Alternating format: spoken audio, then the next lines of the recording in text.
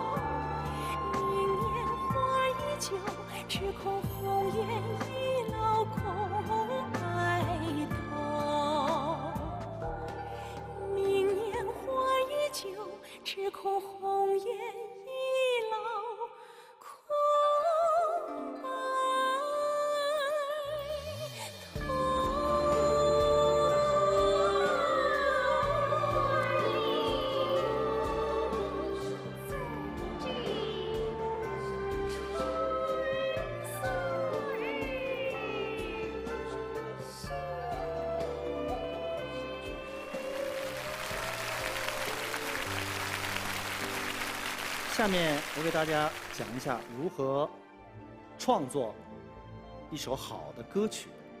技法很重要，但是最重要的是歌曲的整体构思。那么写歌的时候，大家一定要从歌曲的情绪、它的风格、它的题材、它的演唱方法、曲式结构，还有使用对象六个方面来进行整体的构思。那么，只有我们做好一首歌的整体构思，才能真正的做到有的放矢。另外，很多歌歌手也问老师怎么来评判一首好的作品。我把歌曲分了三个层次。第一个层次的歌叫动听。什么动听？首先旋律要好听，旋律要悦耳，要给人带来美的享受。这是歌曲的第一个境界。第二个境界叫做动心，就是一首好的作品一定要把听众带入到曲作者所营造的那个氛围和画面当中去，并引起听众的一种共鸣，使之产生感动，这是歌曲的第二个境界。啊，那么第三个境界叫做画人，通过歌曲的演唱者的演唱，通过旋律，通过歌词，使听众能够得到一种教育意义，能够真正体会到人生的一种真谛，从中得到感化，这是歌曲创作的最高境界，也是艺术创作的最高境界。那么歌曲的三个层次就是动听。动心和化人。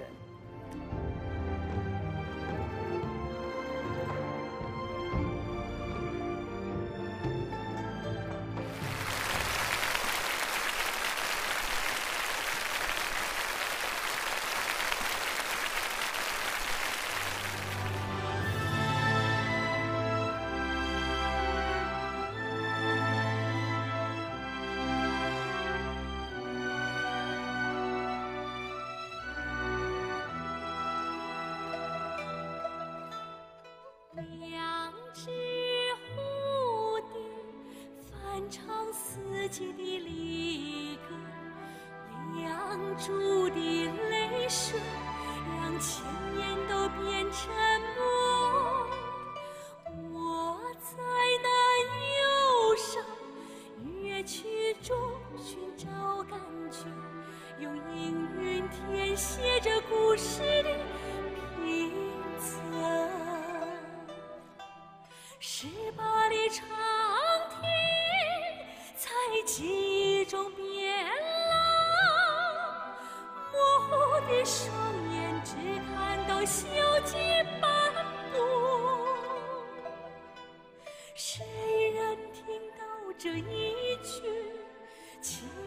传说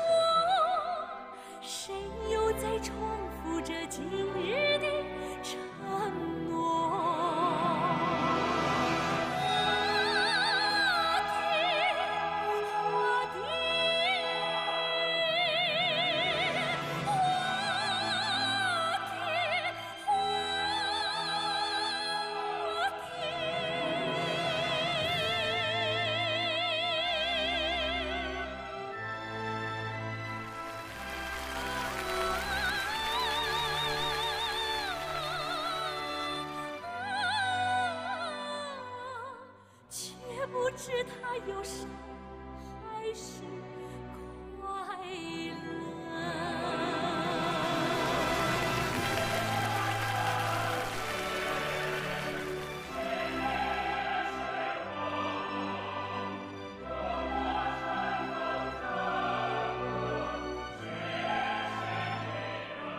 世界上还有谁没被我们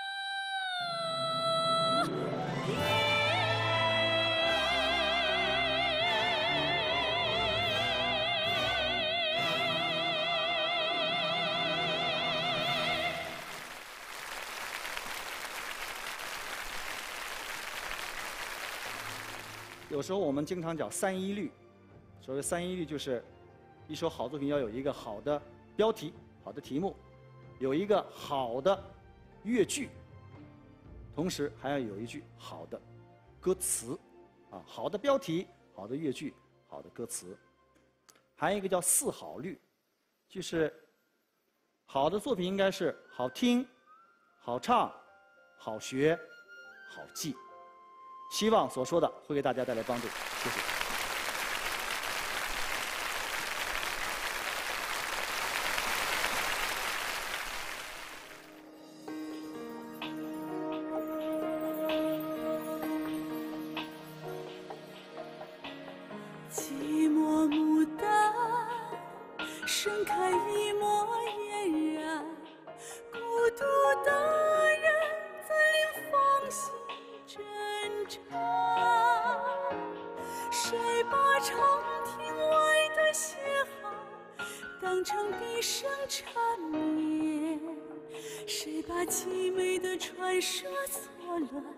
半世姻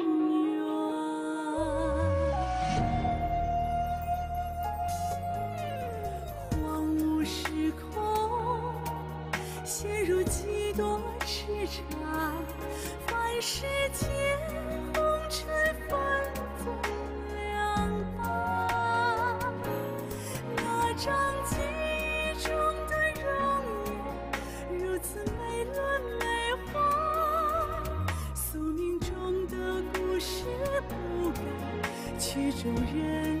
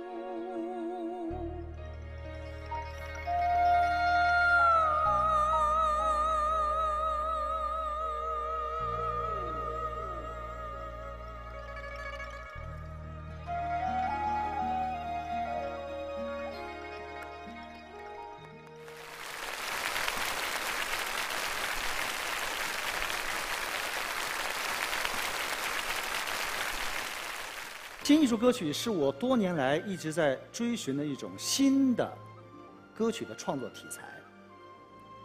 它不同于之前的艺术歌曲，新艺术歌曲应该旋律更加动听，结构更加的简单，形式更加的新颖，内容更加的靠近大众，更加接地气，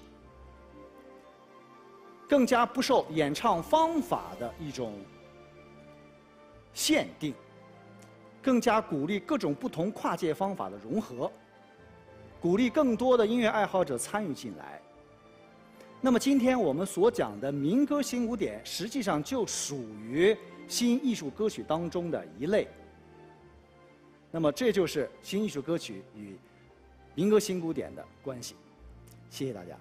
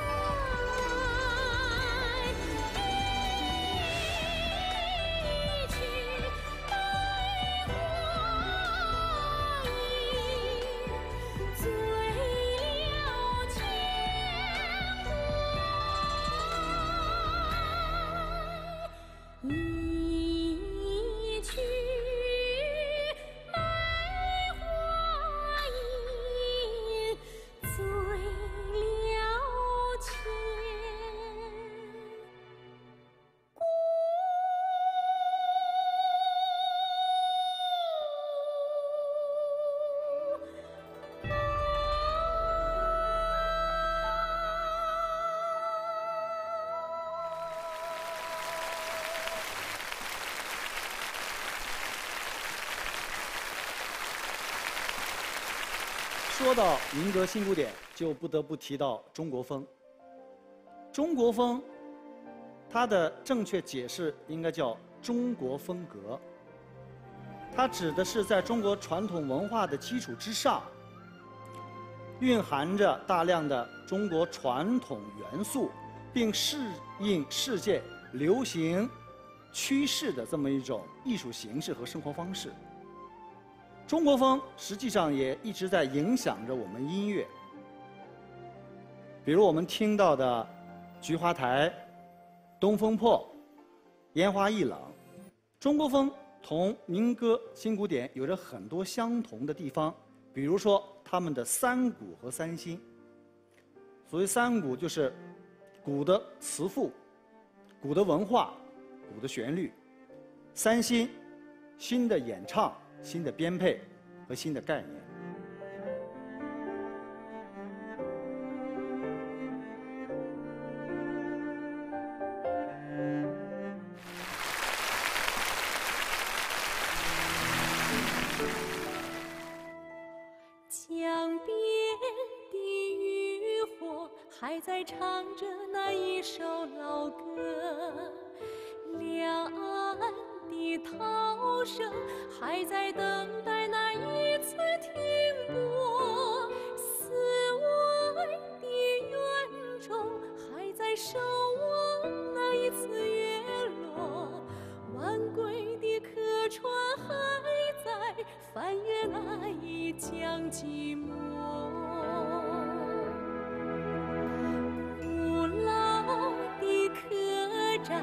谁来陪我醉倒在